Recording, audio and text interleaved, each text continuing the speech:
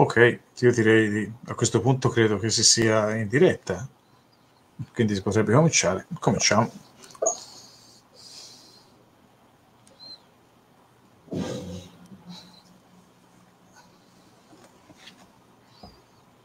Aspettavo l'ok da Simone.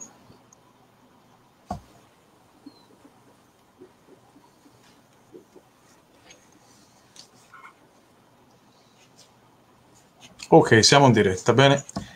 Allora direi, direi di cominciare. Bene. Allora, buonasera, siamo al secondo appuntamento della rassegna organizzata da, da 13 ampi del territorio impolese e pisano fiorentino, diciamo.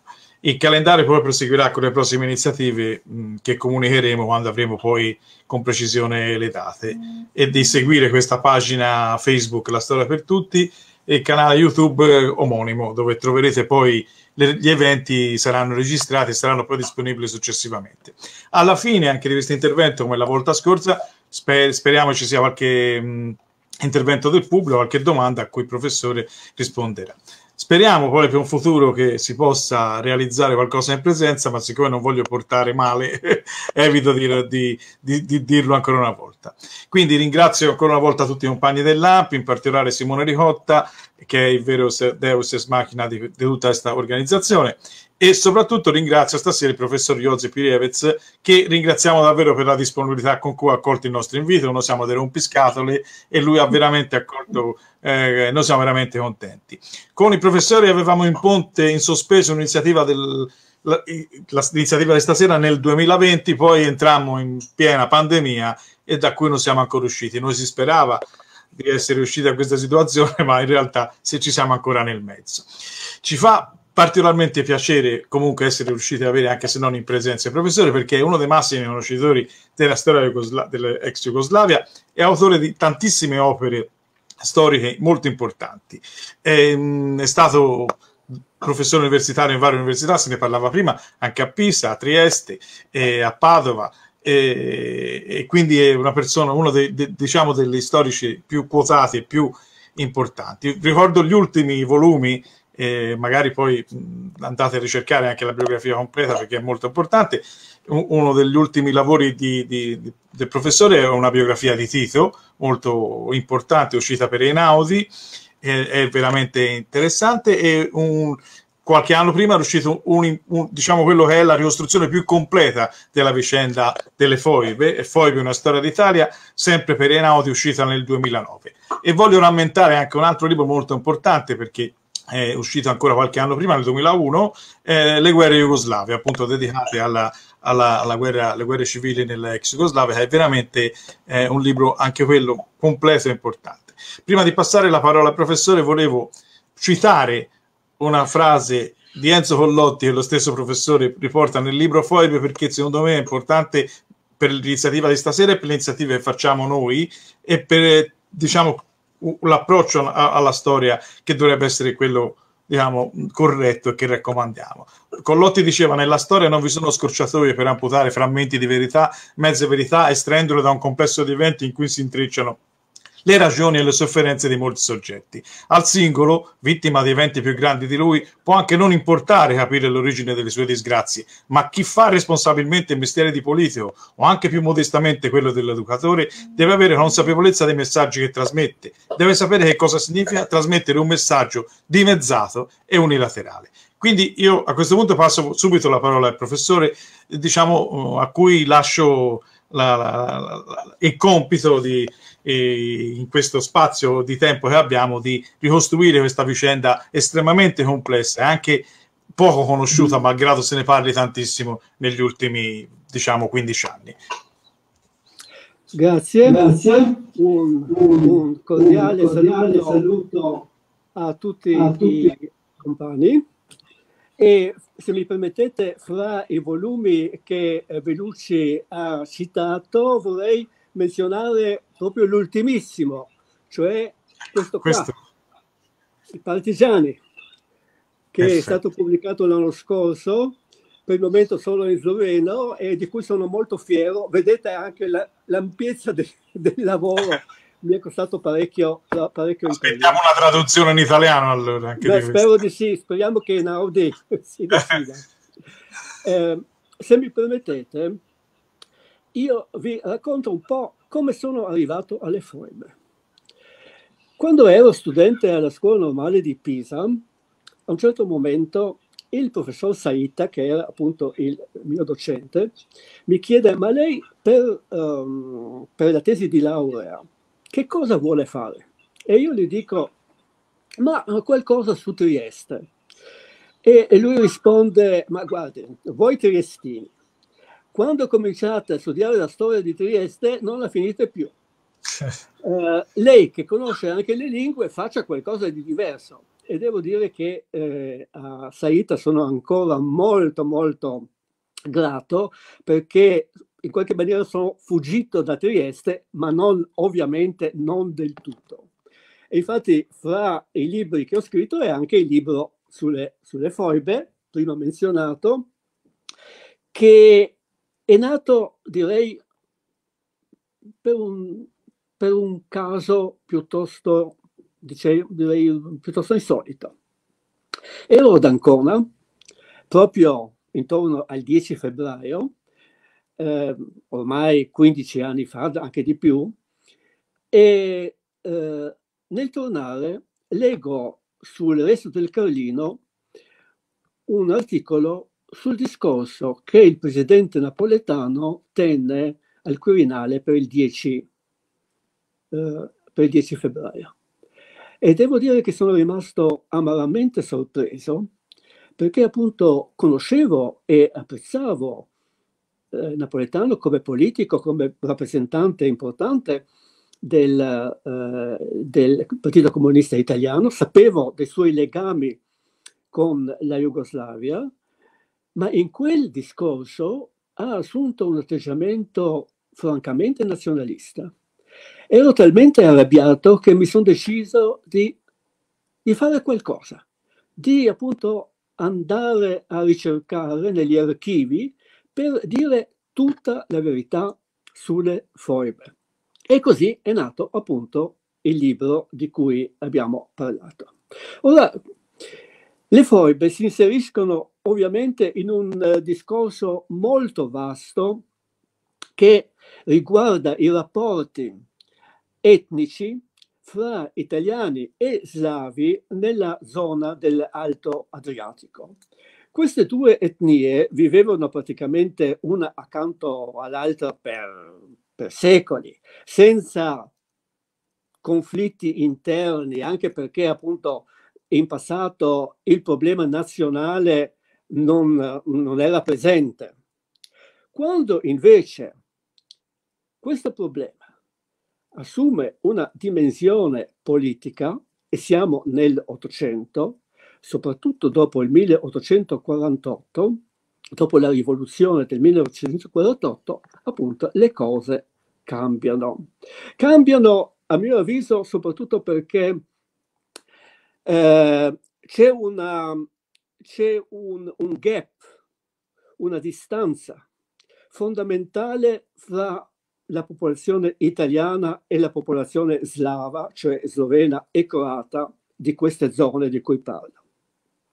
Mentre gli italiani vivevano per lo più in città, erano borghesi, erano piuttosto, mo, molti erano piuttosto benestanti, anche colti, gli slavi vivevano in campagna, erano contadini, spesso dipendenti, coloni praticamente, dai uh, padroni italiani e uh, guardati da questi in certo qual modo dall'alto in basso, perché effettivamente erano meno sviluppati di loro. Uh, quando però appunto questi slavi cominciano già nel 1848, ma ancora più dopo questa data, cominciano a eh, organizzarsi anche politicamente e chiedere diritti politici da un momento all'altro diventano estremamente pericolosi perché cercano appunto di distruggere quell'equilibrio che si è formato attraverso i secoli, in cui appunto i padroni erano coloro che parlavano l'italiano o il veneto e i servi erano gli slavi. Um, da qui nasce un conflitto, direi, eh, etnico-politico che è molto, molto mh, grave ed intenso e che, che, che, che, continua praticamente fino alla prima guerra mondiale senza violenze. Praticamente di violenze ne abbiamo pochissime, veramente si possono contare sulle, sulle, sulle dita di una mano, anche di meno, eh, però la, la, la, violenza verbale era piuttosto intensa, eh, soprattutto appunto da parte italiana che era più colta, più, più, articolata, aveva anche più mezzi a disposizione per esprimere il proprio eh, pensiero e mh, mm, per cui si crea una situazione di odio etnico veramente molto intensa. Questa, questo, questo odio etnico è fomentato soprattutto dagli irredentisti. Chi sono gli irredentisti? Gli irredentisti sono appunto esponenti della borghesia che, eh, soprattutto a Trieste, ma anche, ma anche in Istria, eh, che mh, cercano di conservare il potere eh, e per questa ragione si oppongono appunto al, a questo rinascimento slavo che si eh, manifesta eh, guardando appunto all'Italia. L'Italia unita per questi borghesi diventa molto attraente. Da questo punto di vista vorrei sottolineare l'importanza della comunità ebraica di Trieste. A Trieste c'è appunto in quel periodo, siamo nella seconda metà dell'Ottocento, si forma una comunità ebraica piuttosto forte, ricca, sviluppata, italianizzata, che vede in Italia praticamente un'alternativa molto attraente rispetto all'Austria.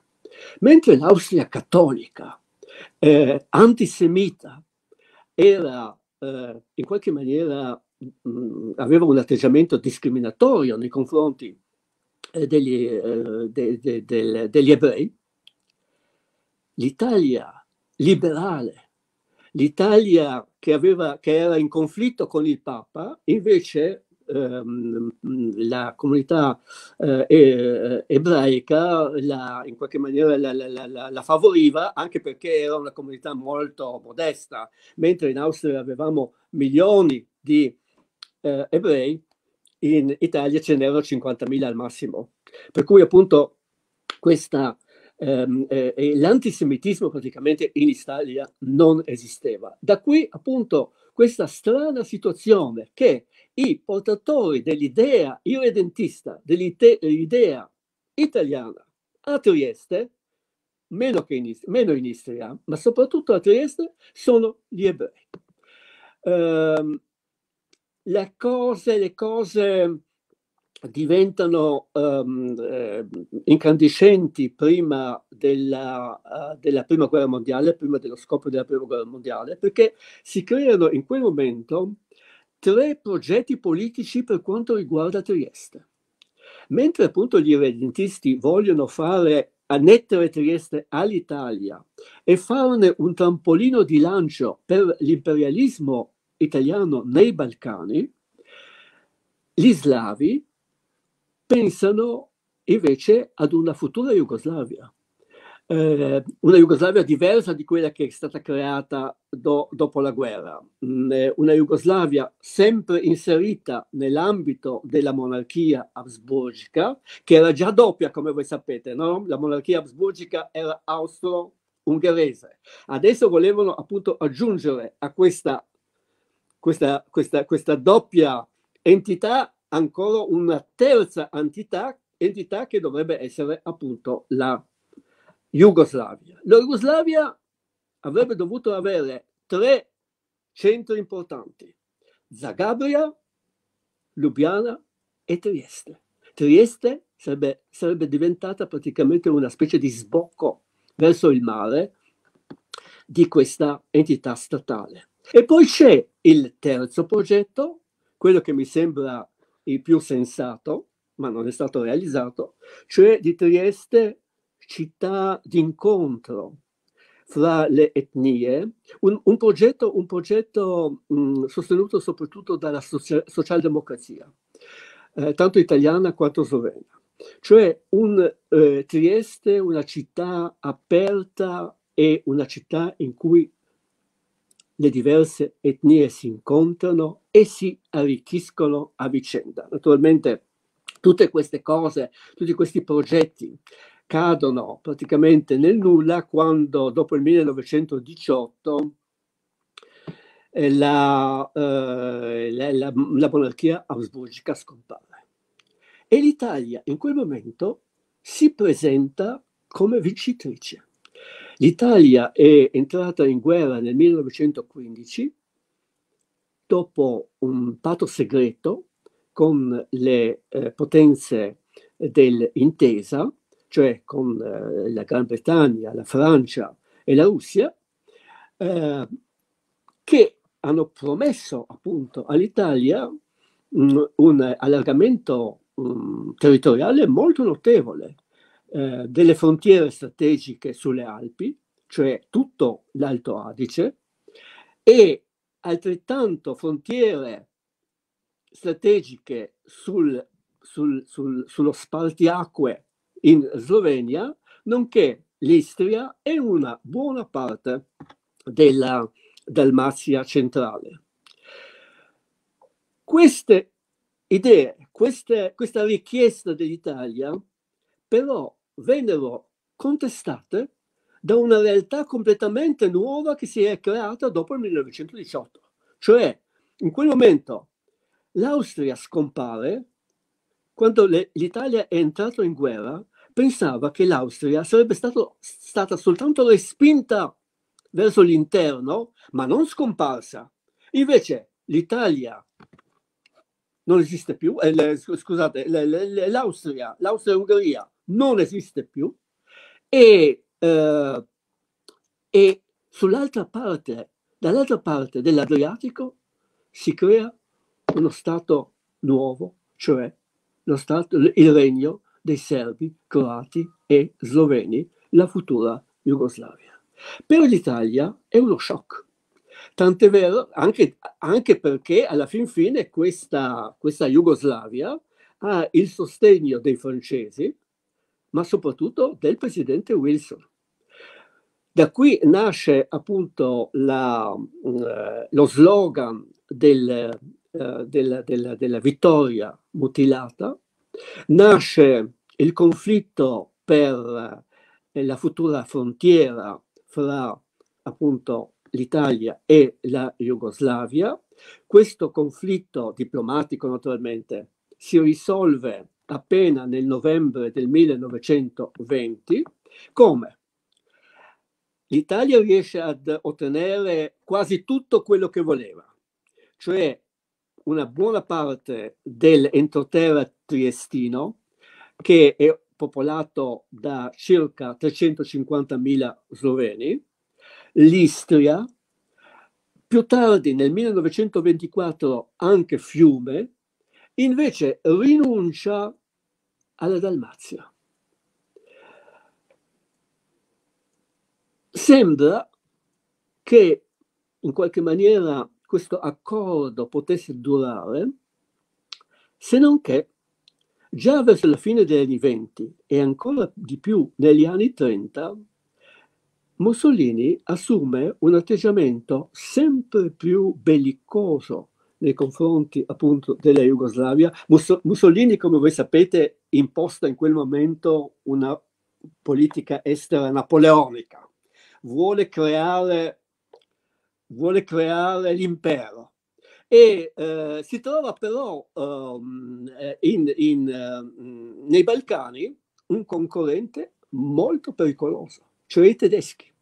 Da una parte si sente attratto dai tedeschi, eh, si, come voi sapete, entra in alleanza con eh, Hitler, ma d'altro canto è anche un suo concorrente.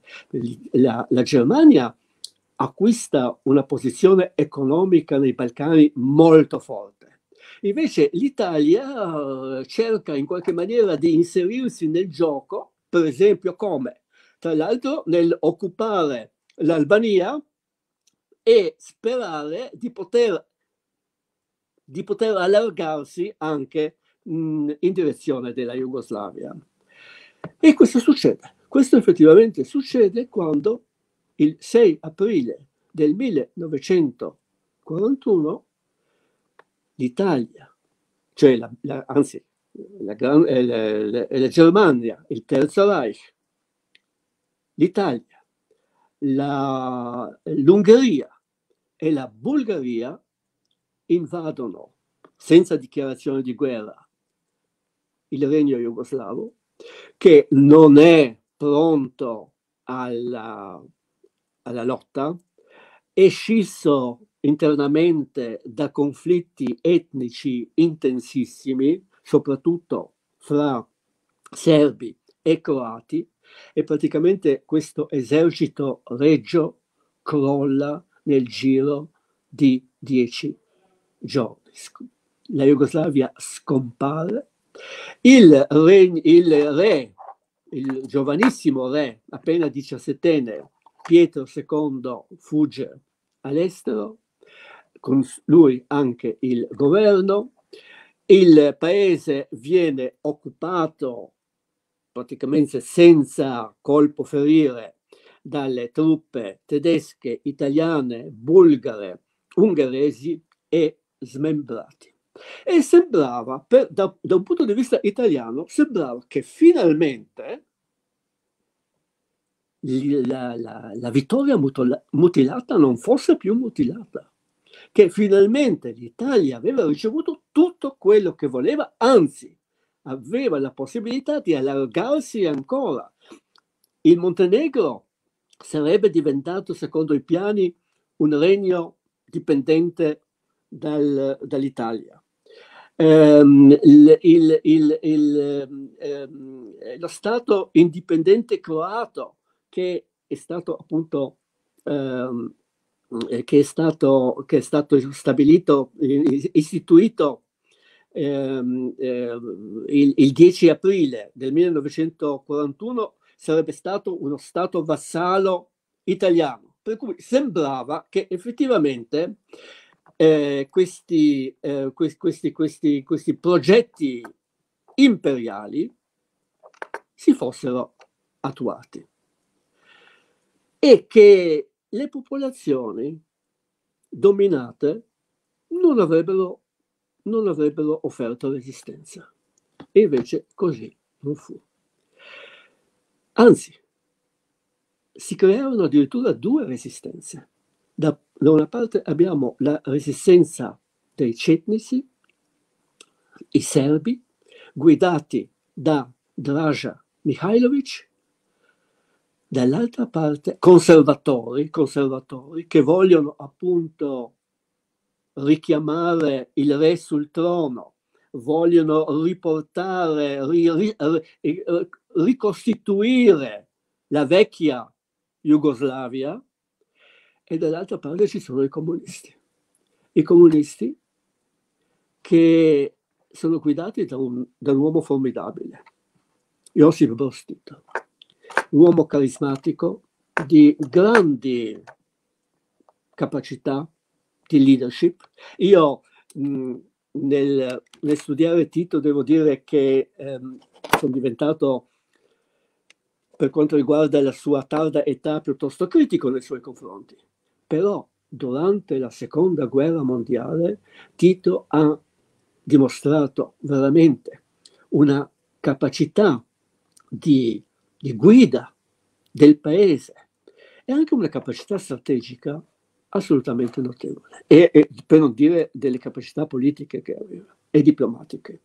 Fatto sta che abbiamo appunto questo movimento di resistenza che si allarga a tutto il paese, è un movimento molto complesso perché appunto le realtà della Jugoslavia sono talmente varie. Una cosa è per esempio la resistenza in Slovenia, un'altra cosa è la resistenza in Serbia o in Croazia o in Dalmazia o da qualsiasi altra parte. Ma nonostante questo i comunisti riescono ad impostare una guerriglia che poi si evolve in un esercito vero e proprio, uno dei più forti eserciti esistenti in Europa in quel momento. Alla fine della guerra aveva, Tito aveva sotto le armi circa, circa 800.000 uomini, che eh, riesce a trovare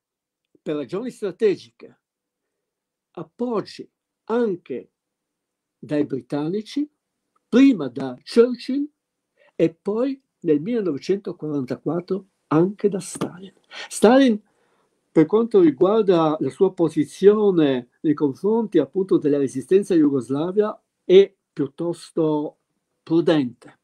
E lì non, vuol far, non, non vuole apparire come un sostenitore della rivoluzione in Jugoslavia, agli occhi soprattutto degli alleati occidentali, per cui appunto per molto tempo è piuttosto riservato nei confronti della resistenza jugoslava. Ma a partire dal 1944, invece, quando le cose ormai sono evidenti, la vittoria eh, alleata è chiara, la sconfitta di Hitler anche, allora da quel momento in poi comincia, punta anche lui sugli jugoslavi e li appoggia eh, in maniera decisiva. Tant'è vero che nell'ottobre del 1944 eh, l'Armata Rossa eh, entra in Serbia, riesce in pochi giorni a sgominare i tedeschi e con l'aiuto dei partigiani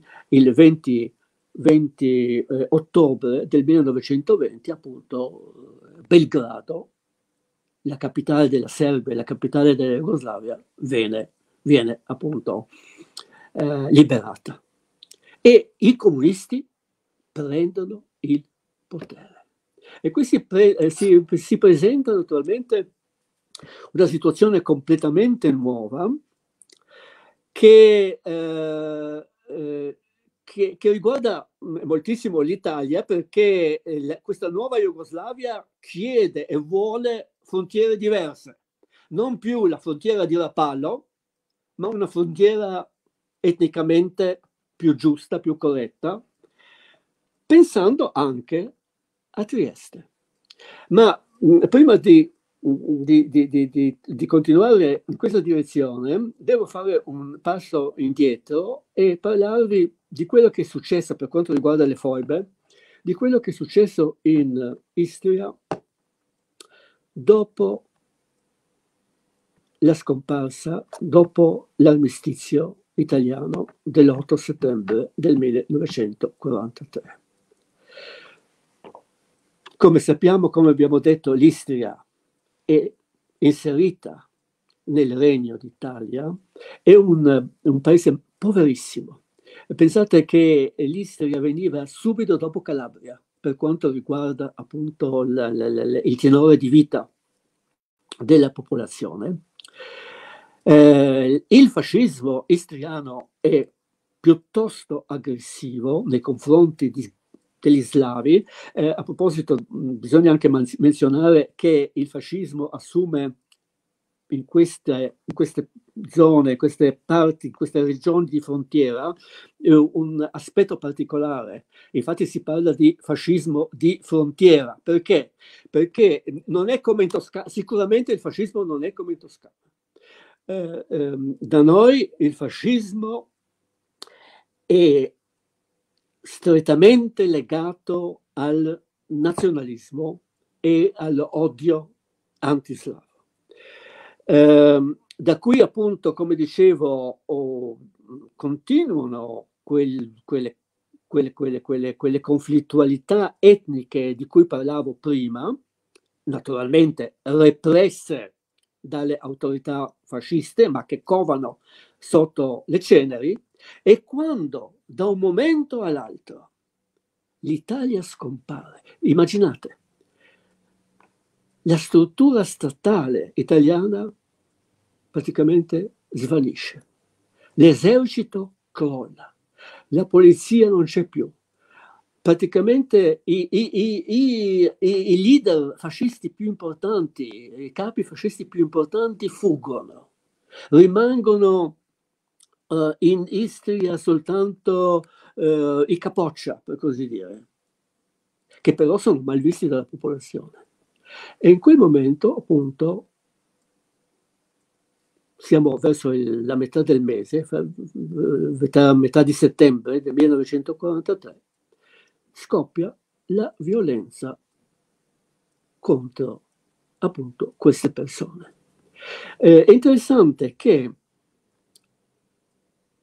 nonostante appunto lo sfacelo del, eh, del, del, um, dell'esercito italiano, in altre parti della Jugoslavia la gente non Mm, non si vendica dei soldati italiani.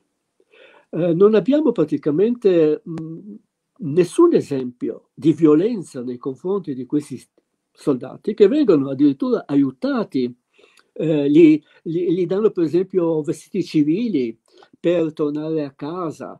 Molti, molti si associano alle forze partigiane, soprattutto per esempio nel Montenegro e in genere eh, in, quella, in, in, quelle parti lì. Ma comunque, um, e, e, altrove appunto questo astio nei confronti degli italiani non esiste.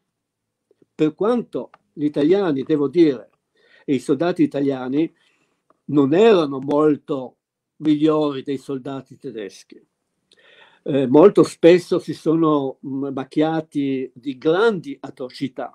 Non erano così organizzati come i tedeschi, non erano così, così, così strumentalizzati forse, non, non, erano sicuramente così fanatici come i tedeschi, eh, però, però le atrocità ci sono state e parecchie.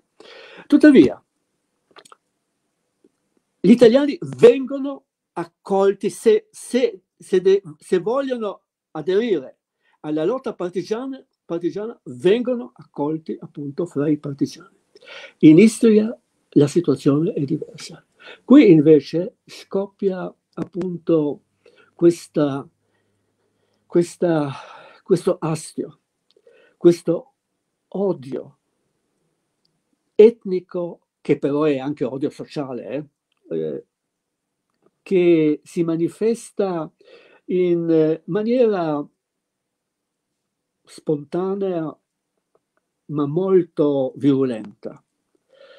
Non è che mh, abbracci molte persone, mh, si calcola che mh, coloro che furono in qualche maniera imprigionati o assis- assassinati eh, si, si aggirano fra 300-400 persone. Però appunto è senz'altro un uh, movimento di rabbia popolare poco organizzato, perché anche in Istria, per, per dire la verità, le, la, la, presenza partigiana era estremamente debole. Uh, dunque, poco organizzato, ma violento, che finisce con uh, la, l'uccisione di queste persone che vengono appunto uh, gettate nelle cosiddette foibe. Che cosa sono le foibe? Le foibe, eh, le, la parola è di origine latina. Mi pare che in latino si dice eh, fabea o qualcosa di simile. Uh, e, una, le, le foibe sono in genere delle cavità calsiche il calcio è pieno di queste cavità. Però accanto a queste ci sono anche dei, um, dei, um, dei scavi minerari. Um, in quel periodo, per esempio, in Istria uh, si, um, si, si, produceva ancora il, il, il, il carbone. Il, carbone era piuttosto, piuttosto cioè, la ricerca e lo scavo del carbone era piuttosto, mm, piuttosto diffuso. Per cui in queste cavità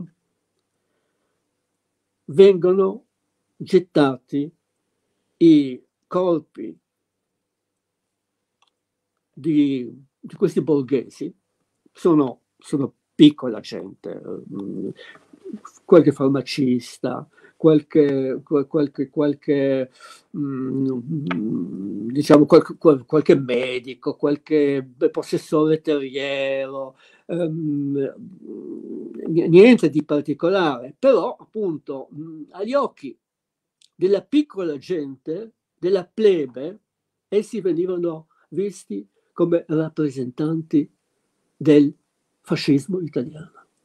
E ancora di più direi come i rappresentanti di una borghesia che per secoli e secoli aveva dominato appunto il paese.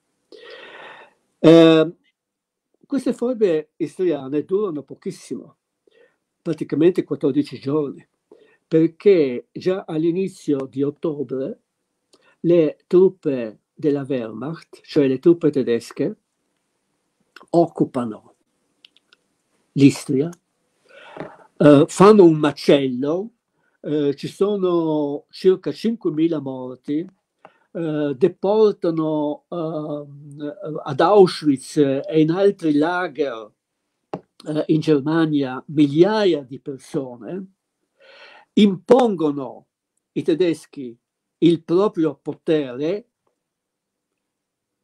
aiutandosi anche dei, anche, dei fascisti che si alleano subito con loro e tra l'altro cominciano a sfruttare le foibe ai fini di propaganda comunista e partigiana.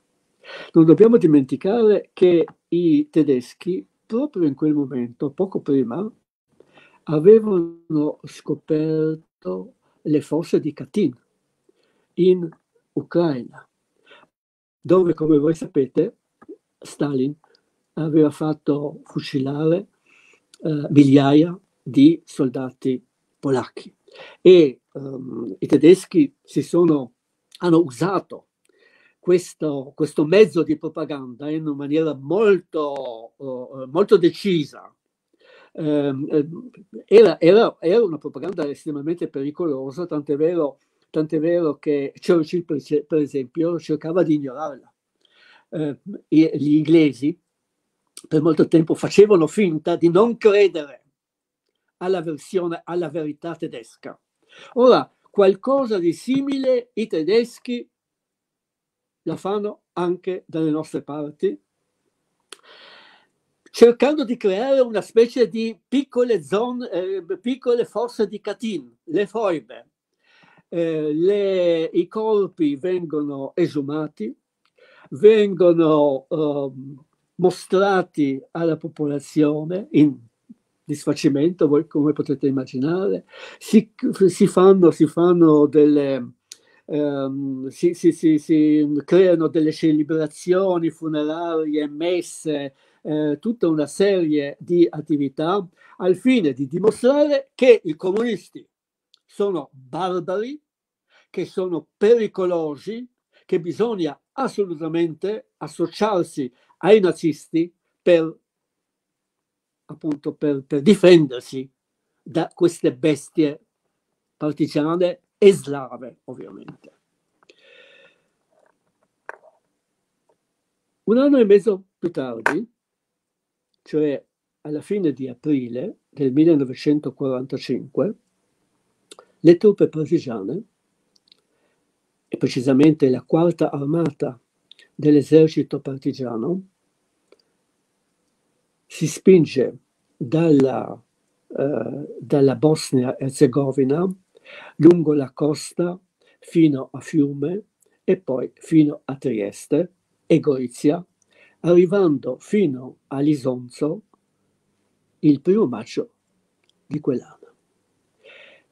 Arrivando lì e con l'intenzione di restare, cioè da un punto di vista jugoslavo, la frontiera corretta, giusta, l'unica giusta era sull'Isonzo.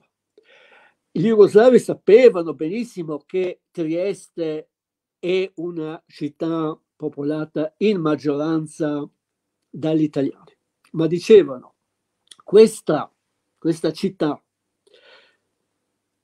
che per l'Italia ha poca importanza, per noi invece è fondamentale. È inserita completamente nel, nell'ambito slavo, per cui è giusto e corretto che sia appunto annessa alla futura Jugoslavia. Quando arrivano um, le truppe della quarta armata a Trieste e a, a Gorizia, ovviamente trovano in città non i tedeschi, i, i tedeschi sono, sono, sono fuggiti, hanno combattuto sul Carso per bloccare i partigiani, senza successo, ma trovano tanti fascisti, tanti fascisti che avevano collaborato, intensamente collaborato con i tedeschi durante il cosiddetto periodo dell'Adriatisches Küstenland. Voi sapete che eh, appunto i tedeschi eh, eh, eh, avevano creato eh, nell'ambito ehm, del, ehm, del, del, dell'Alto Adriatico una zona d'operazioni particolare che si diceva appunto, veniva detta eh, eh, litorale adriatico, non era inserita nella Repubblica di Salò, ma era amministrata direttamente dalla Wehrmacht e dalle autorità civili appunto tedesche. Tra l'altro i tedeschi a Trieste crearono eh, la, l'unico mm, centro, uh, l'unico lager, centro di, di, di raccolta mh, mm, eh, e di detenzione, ma anche di annientamento non soltanto dei partigiani, ma anche, beh, anche degli ebrei la famosa risiera. Ora, come dicevo, i tedeschi, i, i tedeschi se ne sono andati, sono sconfitti, i partigiani occupano queste città e, e cominciano a dare la caccia ai, ai fascisti, ma non soltanto a fascisti, tutti, a tutti coloro che in qualche maniera si oppongono alla, all'idea di un'annessione di queste terre alla, alla Jugoslavia.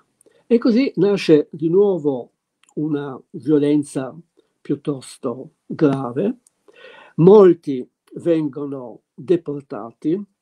Eh, quando naturalmente si parla di cifre bisogna stare attenti e generalmente in Italia si, si tende ad esagerare. Mm, il, quello che ha esagerato di più era il ministro Gaspari, uno dei ministri eh, di Berlusconi, il quale durante una trasmissione eh, televisiva disse che addirittura un milione di persone si, fossero state appunto gettate nelle foibe. Non è, non è assolutamente vero.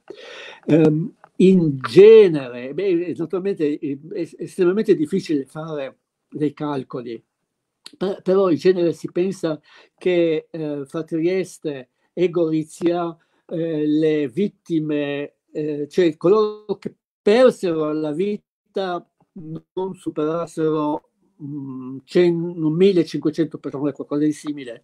Mm, più erano coloro che, ehm, che erano arrestati, poi molti naturalmente anche piuttosto Ehm, in fretta liberati, altri deportati all'interno eh, della Slovenia dove si trovarono in condizioni terribili di, di, di, di mm, appunto di prigionia terribili, molti morirono anche mm, lì per stenti, per, per, per, anche, alcuni anche fucilati.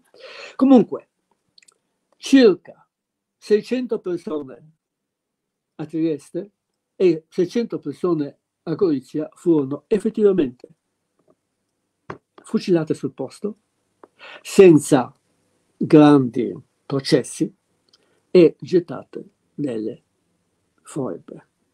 Una di queste è la foiba di Basovissa, che di nuovo non è una caverna carsica, ma era uno scavo eh, che, alla ricerca del carbone che però non è stato trovato, per cui praticamente è stato abbandonato. E, e così abbiamo appunto questo secondo episodio eh, di vendetta che mh, si include nella, nella realtà del tempo. Dal nostro punto di vista, ovviamente, dopo tanti anni, e questa, questa, questa, questa, questa vendetta, questa, uh, questa volontà di vendicarsi è difficilmente accettabile. Infatti, io direi che non è accettabile, però bisogna inserire il tutto in, un, in una visione storica, capire che dopo la guerra, lì dove c'è stata resistenza, c'è stata anche violenza. Era estremamente difficile, anzi impossibile, sfuggire alla, alle atrocità della seconda guerra mondiale e saper essere corretti e giusti nel momento della vittoria. In Jugoslavia, come voi probabilmente sapete, le cose andarono ancora peggio. Uh, I partigiani purtroppo assassinarono migliaia e migliaia di persone che avevano collaborato con i tedeschi e prima ancora con gli, eh, gli italiani.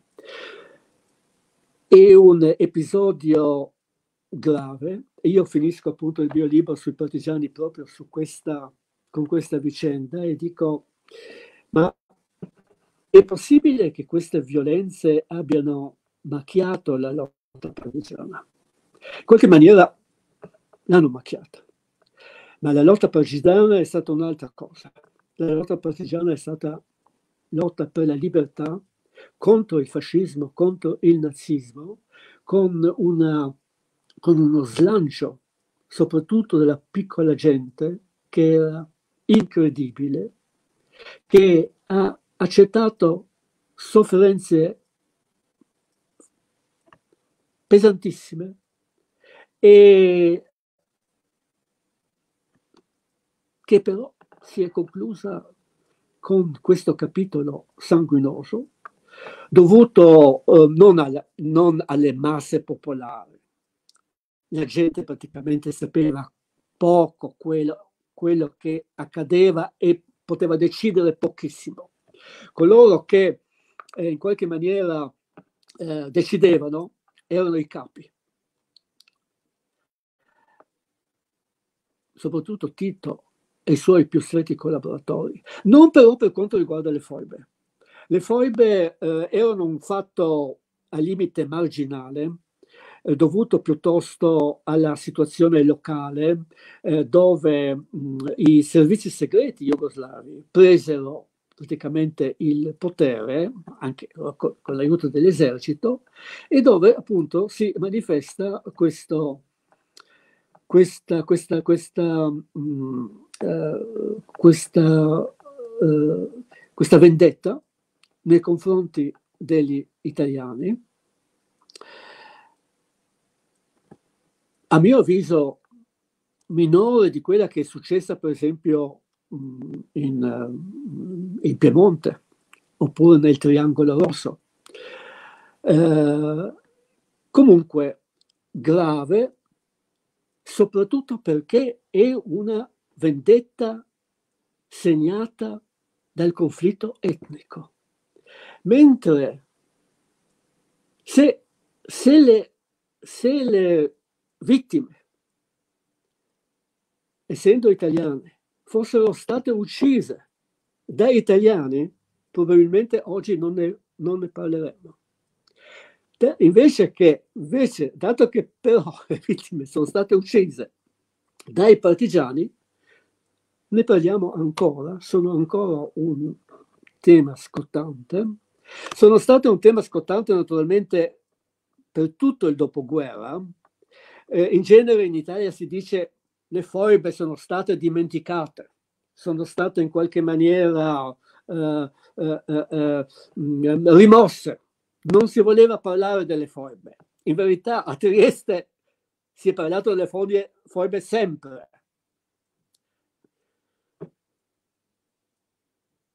Che cosa è successo però dopo il crollo della Jugoslavia e la nascita di queste piccole repubbliche autonome come sono la Slovenia e la Croazia, e che hanno cambiato completamente i rapporti di forze, ovviamente, e hanno suggerito alla classe dirigente italiana, non soltanto a quella di destra, ma anche alla sinistra, di riesumare il problema delle foibe per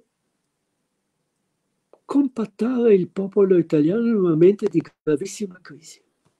Non dobbiamo dimenticare che siamo al, eh, al moment, nel momento in cui scompare il vecchio sistema dei partiti, il partito socialista italiano crolla, la democrazia cristiana crolla, il partito comunista scompare ed ecco che in questa situazione le foibe vengono usate e sfruttate per, per fomentare il nazionalismo italiano. E, e, e, diventano un fattore importante nel discorso politico di quegli anni Tant'è vero che, um, eh, che, che, che uh, vengono in qualche maniera istituzionalizzate il, eh, nel, mille, nel, 2004 il Parlamento decide di, uh, di istituire la giornata del, della memoria eh, per il 10 febbraio del, di, di, ogni anno. Eh, non dobbiamo dimenticare che il 10 febbraio è una eh, data simbolica. Il 10 febbraio l'Italia del 1947 l'Italia ha firmato il trattato di pace di Parigi. Con questo trattato di pace, è vero, ha perso una buona parte dei territori acquistati dopo la prima guerra mondiale, però è tornata come uguale nell'ambito della società delle nazioni. Il 10 febbraio non dovrebbe essere un giorno di dolore, ma dovrebbe essere il giorno in cui si, eh, si rammenta appunto il fatto che l'Italia diventa di nuovo capace di inserirsi nel gioco internazionale. Invece così non è, come voi sapete, eh, si cerca di sfruttare questa problematica delle foibe in una maniera piuttosto pesante, dicevo del discorso di Napoletano, ma devo dire che anche eh, i successivi presidenti di Repubblica mh, mm, non è che siano stati migliori da questo punto di vista. Adesso sto, sto attendendo il discorso di Mattarella di quest'anno, sarà estremamente interessante vedere che cosa succede. Comunque, eh, le foibe sono ancora qui e sono entrate nel, nella coscienza degli italiani. Io quando vado in Italia e dico di essere, di essere sloveno, la prima, la, la, prima, la, prima, reazione che sento è ah, le foibe. Eh, trovo uh, le, mm, eh, le, le, intestazioni stata, eh, stradali dedicate alle foibe un po' dappertutto in Italia, addirittura in Sicilia, dove avrebbero ben altri problemi da discutere e da commemorare. Comunque, eh, è una vicenda dolorosa che va esplorata ed è, è una cosa che vorrei però sottolineare a questo punto è che la, la, la giovane storiografia italiana si confronta con il problema delle foibe sempre più, eh, in maniera sempre più razionale, sempre più critica nei confronti della realtà ufficiale che viene in qualche maniera proclamata, tant'è vero che se dubiti di questa realtà ufficiale diventi un negazionista, come se dubitassi dal, eh, dall'esistenza delle camere a gas ad Auschwitz. E dunque c'è questa, questa, questa giovane storiografia, questi giovani storici italiani che io veramente devo dire ammiro perché hanno avuto il coraggio di confrontarsi in maniera razionale con il fenomeno delle foibe nel tentativo di inserire il tutto in un discorso in cui appunto tutti siamo colpevoli. Gli italiani sono colpevoli dell'irredentismo, del fascismo, di quello che hanno fatto nei Balcani durante la seconda guerra mondiale. Gli slavi sono colpevoli appunto di queste violenze scoppiate alla fine della guerra. Grazie. Allora, grazie davvero professore perché ha fatto una, una lexio magistralis che secondo me, per fortuna, l'abbiamo registrata, l'abbiamo su YouTube perché eh, credo che sarebbe opportuno che diventasse anche una, una, davvero una, un, una, lezione da far ascoltare perché è, importantissimo ricostruire eh, eh, la storia perché la separazione de, de, dei, vari, dei vari episodi poi soprattutto di una vicenda non solo come quella legata al rapporto fra italiani e, e, e, e diciamo slavi, ma, ma, soprattutto la vicenda complessissima del fascismo della seconda guerra mondiale che ha prodotto eh, insomma un numero di morti pari agli abitanti d'Italia attuali, quindi è un contesto di estrema violenza, una guerra estremamente radicale in cui gli scatenatori della guerra sono eh, il nazionalsocialismo e il fascismo, quindi che hanno prodotto una serie di, di odi e di, che si sono sedimentati. È fondamentale questo aspetto. E parlavamo anche l'altro giorno con, con, con Eric, eh, eh, consideriamo che tutti i, pa- i, popoli, i paesi hanno vissuto la seconda guerra mondiale, hanno visto sul loro territorio eh, atrocità anche da parte delle truppe di liberazione. Penso alla Germania che ha vissuto bombardamenti a tappeto e, oppure al, a, a, all'espulsione di milioni, di centinaia di migliaia di, di, abitanti, di tedeschi dai territori dopo la perdita della seconda guerra mondiale. È, cur- è, interessante vedere come si sono relazionati questi paesi con la loro storia. La Germania dopo eh, la, la, la, la, discussione che, che, che, ci fu alla fine degli anni 70 sul passato che non passa, certamente, se, ecco, questa è la do- se gli posso fare una domanda poi spero che ci siano anche questioni da parte di chi ci sta ascoltando, la Germania non ha mai pensato di creare un giorno del ricordo per le, per le, vittime che pure hanno avuto a milioni perché avrebbe creato sicuramente un problema di relazione con gli altri paesi che sono stati invasi dalla Germania. Mi sembra Focardi qualche anno fa scrisse questo libro sul cattivo tedesco, noi in Italia ci siamo rappresentati e, e, e celati dietro eh, il fatto che alla fine era la Germania che conduceva il gioco pesante e noi bene o male, ma in realtà come ha detto giustamente lei, le, le atrocità commesse dall'esercito italiano in Jugoslavia non solo che non hanno avuto nemmeno la, la, la, diciamo il, il, seguito di una, di, di una condanna uh, da parte dei tribunali nel, secondo, nel secondo dopoguerra è, è, è, una, è, un aspetto che è entrato nella nostra, nella nostra purtroppo nel nostro rapporto che abbiamo con, con, con la storia del fascismo. Sì, sono, sono, sì, sono assolutamente, assolutamente d'accordo con lei. Purtroppo l'Italia, Purtroppo l'Italia non... eh, sento, sento la mia voce. Eh, dico, sono d'accordo con lei perché l'Italia mm, non ha fatto i conti, non ha fatto i conti con la propria uh, storia, mentre i tedeschi sono stati in, questa, in questo senso più bravi, più coraggiosi, eh, anche naturalmente spinti, spinti, diciamo la verità, i tedeschi sono stati spinti dagli occidentali. mentre gli italiani no.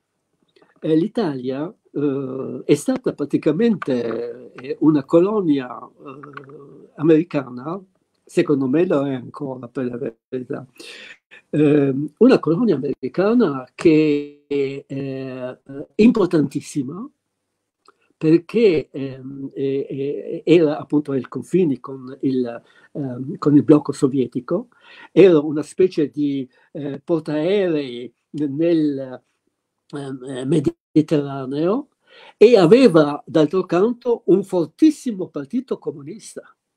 Eh, il Partito Comunista Italiano ha avuto un ruolo importante per quanto riguarda l'atteggiamento di Washington nei confronti dell'Italia. Pensiamo soltanto alle elezioni del 1948, quando appunto la CIA ha fatto di tutto per eh, far vincere la democrazia cristiana e sconfiggere eh, il, fronte, il fronte popolare. Per cui appunto la situazione italiana è tutta particolare. L'Italia non ha, non ha mai avuto un, un, tribunale di Norimberga, non ha mai consegnato um, a, um, alla Jugoslavia um, i, i, criminali di guerra, anzi non ha mai praticamente neanche processato questi criminali di guerra, per quanto ne conosciamo il nome e il cognome, e vi dico, dato che ho studiato moltissimo per questo libro sui partigiani, vi assicuro ho studiato moltissimo quello che hanno fatto Loatta, Robotti eh, e altri eh, generali italiani appunto nei Balcani e sono cose semplicemente atroci. Purtroppo questo è, è stato dimenticato è stato in qualche maniera cancellato e a mio avviso eh, l'Italia deve recuperare questa consapevolezza di sé, perché eh, solo in questa maniera può creare una società veramente matura. Eh, nascondersi dietro la parola di italiani brava gente non porta da nessuna parte. Gli italiani devono appunto accettare anche loro la loro parte delle colpe in questa vicenda, che è una vicenda, è una tragedia europea naturalmente. Guardate, secondo me nessuno è mondo, nessuno è senza peccato in questa vicenda, in questa tragedia europea. Esatto, sì, perfettamente, è, è esattamente così. La, il, il, pensiero che, che, che, che mi viene spesso è che in realtà negli ultimi anni da parte degli storici ci sia stato un grandissimo lavoro che però non riesce mai a, da noi a, a, a attraversare questa barriera mediatica, per cui c'è da una parte la storia degli storici, anche gra- bra- bravissimi sì. educatori, ma dall'altra non riesce a, a superare questa, questo scoglio della divulgazione.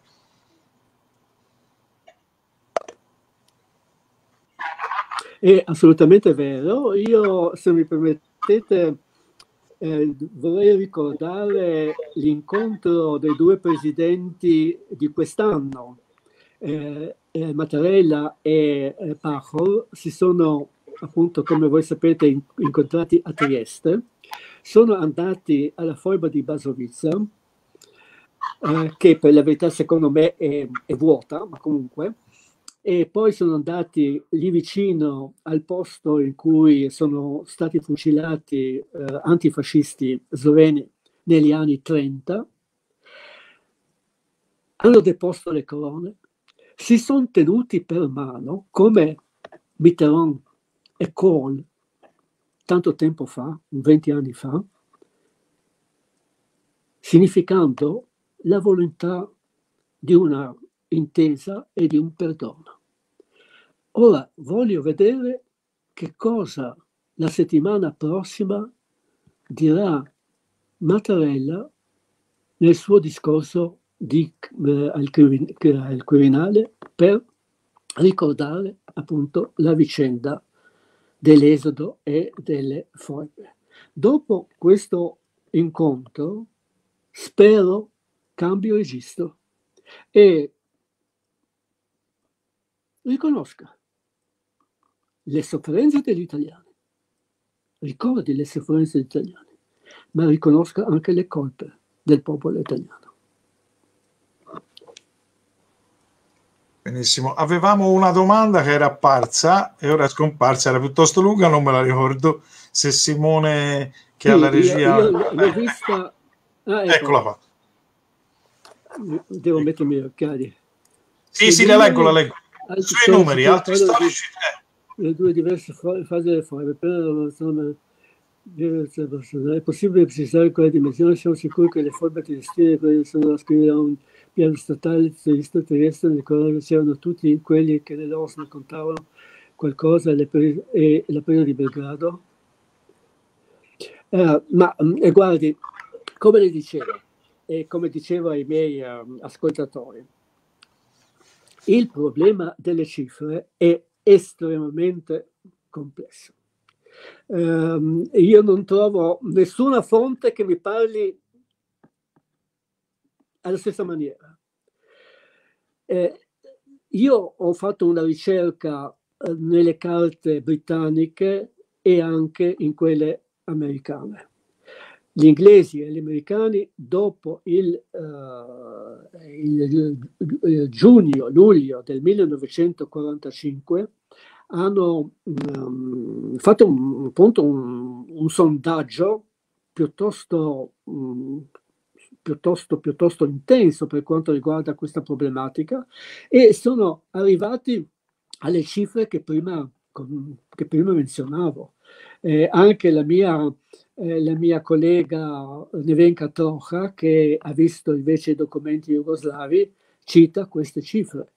Eh, Pupo, eh, no, non, so, non so se Pupo, con tutto il rispetto che ho per lui, ha fatto una ricerca così sostanziosa. Mm, non, non mi risulta che, che, abbia visto i documenti americani oppure quelli jugoslavi. Eh, poi, poi, però c'erano, c'erano, altre domande estremamente interessanti che, che in qualche maniera ho, ho, ecco. eh, sì, ho scordato. Eh, ecco, siamo sicuri che le forme triestine del 45 non sono ascrivibili a un piano statale titolista? Guardi, no.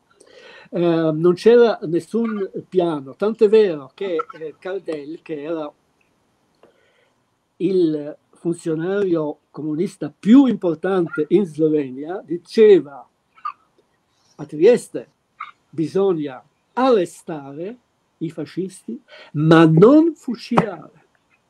Bisogna trasportarli in Slovenia e lì verranno eventualmente giudicati. Purtroppo le cose sono sfuggite di, di mano. Ci sono state ovviamente anche violenze violenze, violenze individuali, personali. Mm, in genere uh, i, eh, come dire, la, i soldati della quarta armata, che erano per lo più dalmati e, uh, e serbi dell'entroterra dalmato e che avevano conosciuto le violenze italiane, hanno, mm, si sono lasciati in qualche maniera andare dall'odio, io penso anche dall'odio anti-italiano, ma soprattutto antifascista. Antifascista. Eh, che, che, in quel e caso... Poi, eh, eh, eh a Trieste nel 1945 c'erano tutti quelli che nell'Ossia contavano qualcosa, ma no, no, a Trieste eh, eh, coloro che, che nell'Osna contavano qualcosa, cioè nei servizi segreti, erano a Belgrado, erano a Lubiana, non sicuramente a Trieste. A Trieste però appunto l'Osna sicuramente nei servizi segreti ci sono stati, hanno svolto un'attività anche piuttosto brutta perché si sono dati al saccheggio, eh, hanno rubato parecchio e, e dunque non, sicuramente non, so, non si sono comportati bene, però erano pur sempre gente di, di poco peso.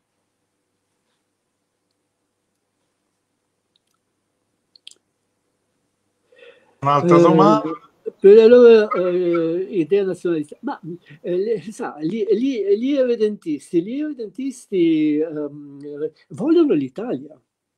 Eh, come dicevo, eh, l'Italia era eh, per, per, parecchi eh, era molto attraente, ma era attraente soprattutto perché era un baluardo nei confronti degli slavi. Gli slavi a Trieste e anche altrove diventavano sempre più forti, sempre più, anche se si, si organizzavano sempre di più, erano capaci di costruire nel bel mezzo della città un enorme palazzone, il centro di cultura, che voleva essere una risposta alla, alla, alla, um, alla, tesi che l'Italia, che, che Trieste fosse città solamente italiana, mentre le altre minoranze triestine, ce ne sono tante, hanno creato a Trieste bellissime chiese, c'è la chiesa serba ortodossa, c'è la chiesa greca, c'è una, una, bella, una bella, chiesa gotica, neogotica um, tedesca e così via, così via. Poi c'è una sinagoga che è più, probabilmente la più grande e la più bella d'Europa. Gli sloveni cosa hanno creato? Hanno creato un centro di cultura per rispondere appunto alla, cultu- alla, alla esclusione cui, culturale cui venivano condannati. Eh, per cui, eh, dicevo, erano pericolosi. Eh, e in questo senso eh, la, la, la, una, una, parte della borghesia mm, mm, triestina guardava ovviamente verso, verso l'Italia l'Italia era, eh, era attraente quando si pensava che Trieste potesse diventare una specie di trampolino di lancia, come ho detto, per altre per altre, eh, eh, altri allargamenti nei Balcani. Come diceva Giannunzio, bisogna seguire le orme dei legionari romani. Più chiaro di così, era chiarissimo D'Annunzio. Eh, allora, se non ci sono altre domande, c'è ancora c'è questa domanda. C'è ancora questa. Eh. Ti ricordo ancora di molta astienza. Ma ehm, sì, eh, direi in parte, in parte sì, in parte no. Mm, c'è un, diciamo un, una buona fetta della, dell'opinione pubblica che è contraria al comunismo, è contraria a Tito, Mm, demonizza, demonizza tutto. Però, d'altro canto, bisogna dire, eh, la, la, realtà, il socialismo, eh, il, il, il, il, socialismo jugoslavo era differente dal socialismo uh, sovietico. Aveva effettivamente un volto, uh, un volto umano. Io sto, mi, mi accingo proprio a scrivere un libro, un nuovo libro su questo tema, alla ricerca del socialismo dal volto umano. E, e effettivamente era così. Uh, molti in Jugoslavia, sotto Tito, vivevano bene, magari a causa di prestiti all'estero e degli aiuti americani e, e sovietici e così via. Però, uh, insomma, la sensazione che eh, il socialismo eh, jugoslavo fosse eh, sicuramente meno opprimente di quello sovietico, che le, fronti- le frontiere erano aperte, si poteva andare a lavorare all'estero, eh, la vita intellettuale era piuttosto, era molto vivace e piuttosto libera. Non voglio dire che in Jugoslavia non ci fosse la dittatura. C'era la dittatura. Però non era né la dittatura di Stalin e ancora meno, e anche, e anche non la dittatura di Khrushchev o di Brezhnev. Certamente, poi anche, voglio dire, Tito alla fine aveva questo, ha, ha conservato anche questa grande, eh, diciamo, eh, importanza anche per, appunto, per aver liberato il paese da, da, da nazisti. Eh, sì, Tito, Tito, è interessante, sicuramente eh, dopo la, la, guerra Tito ha impostato una, eh, un regime di tipo staliniano. Ma dopo aver litigato con Stalin nel 1948, i jugoslavi cambiano completamente il registro e impostano due politiche che sono estremamente interessanti, cioè l'autogestione, si cerca di dare la gestione appunto delle fabbriche ai, agli operai e il non allineamento, il fatto di scoprire le masse popolari dell'Asia e dell'Africa e di dire la differenza, cioè, cioè il problema di oggi non è tanto il conflitto fra est e ovest, il problema di oggi è il fatto che il nord è ricco e il sud è povero. E finché non supereremo questo problema, non ci sarà pace nel mondo. Credo che è, una, è, un, è, un, è un'idea ancora molto, molto valida e estremamente, estrem, estremamente attuale. Perfettamente ragione, anche perché poi sarà eh, quel contesto particolare che eh, di lì a poi anni successivi vedrà protagonisti altri paesi che avranno poi le stesse, le stesse, le stesse. Ecco, questo, questo, questo aspetto è interessante perché io credo che nella polemica poi sulle foibe e sulla questione non, non ci sia più la consapevolezza del fatto che Tito fosse non allineato e quindi del, del contesto in cui storicamente era rispetto alla, all'Unione Sovietica e l'importanza che appunto la Jugoslavia eh, assume nel contesto della guerra fredda. Ecco. Eh beh sì, ehm, è, è, assolutamente vero. Si dimentica in Italia che la Jugoslavia era un baluardo dell'Italia. Fatto. La Jugoslavia, se, se, se, se l'Unione Sovietica avesse attaccato, appunto, invaso la Jugoslavia, l'esercito jugoslavo avrebbe avrebbe combattuto anche per l'Italia, esatto. per la salvezza dell'Italia. Esatto, questo è un aspetto importante anche per rammentare che poi alla fine la storia è sempre complessa e va studiata nella complessità e non, eh, sì, eh, eh, non, eh, non, non, abbiamo esaurito le complessità, non abbiamo esaurito le complessità, esatto. ci sono tante sfumature ancora di cui bisogna parlare. Esatto. C'è un'ultima domanda, poi direi, professore, che la, la, la lasciamo libero perché ci ha dedicato sì. tu, Ma, eh, sì, mi chiede il, il, signor Lucio mi chiede appunto se Arbe sia più grave delle forbe. E, e, come sapete, Arbe è un'isoletta molto bella uh, vicino a Fiume dove eh, i fascisti hanno organizzato un campo di concentramento eh, in cui venivano chiusi soprattutto mh, mm, sloveni, eh, in primis donne e bambini. In questo campo di fiume eh, di, di Arbe si moriva di fame. Eh, circa 1500 persone e come dicevo soprattutto donne e bambini, ma anche, anche gli uomini soffrono la fame, sono morti appunto di fame per una politica di annientamento che era mirata. Ora, eh, io non direi, non direi che la cosa fosse peggiore delle, delle forme. In qualche maniera si inserisce in questo discorso di bestialità che ha contaminato l'Europa durante la seconda guerra mondiale e alla fine della seconda guerra mondiale. Questo l'aspetto.